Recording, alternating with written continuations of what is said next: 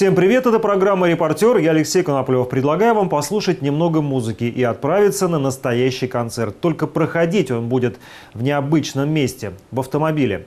Его водитель сам себе концертмейстер, автор песен и продюсер. Репортер побывал в салоне самой необычной в городе концертной площадки и узнал, чего же так не хватает самарцам в современной музыке. Вас ожидает серебристая ВАЗ-2110. Пожалуйста, выходите и зажигайте. В эту машину садятся только с таким приглашением. У ее владельца к авто особый подход от точки А до точки Б. Здесь довезут с ветерком и песнями в буквальном смысле слова. Итак, поехали с вами Алексей Брытков с композицией Mainstream One. Я твой.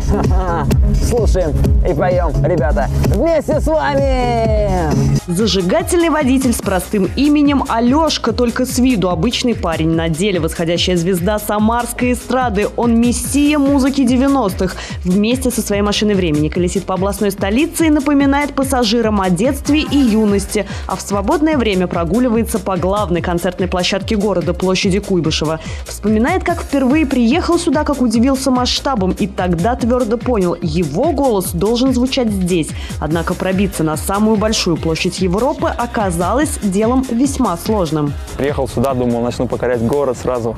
Приехал, начал объезжать все кафешки, предлагать себя, то, что вот такой-то, смотрите, вот я пою песню «Руки вверх», вот у меня голос очень похож. Ну, думал, что все, думаю, меня возьмут, начну петь. Оказалось, что не все так просто. В итоге взяли, но в такси на своих четырех Алексей зарабатывает на голубую мечту свой альбом со своими хитами. Таких у него много, правда, звучат они все чаще только в салоне машины, да в аудиозаписях на страничках друзей. Первую славу он так и заработал через соцсети. Молодой поэт с душой из прошлого века уверен, 90-м еще есть место в этом мире. Главное себя правильно продвигать. Могу поднять настроение, говорю, могу включить хорошую бодрую песню, которая поднимает настроение, и все удивляются. Да, действительно, бодрая, ну, интересно же послушать всем. И говорю, это своя собственная, говорю, вы такого нигде не слышали. Вот. И человек, конечно, соглашается, я включаю песню, и действительно потом говорят, вау, клево.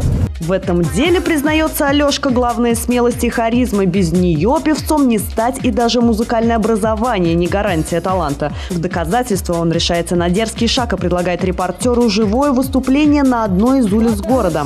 Есть Алешка у тебя, Алешки, ты вздыхай зря. Обошлось без автографов. Спешат куда-то, наверное, говорит Алешка и оптимистично добавляет. По глазам видно, мотив узнали. Прохожие, правда, косились, озирались, но подпевать отказывались. То ли слова забыли, то ли не их формат. Впрочем, на вопрос, как вы относитесь к Сергею Жукову самарского разлива с перепетыми песнями, отвечали однозначно. Я даже не знаю.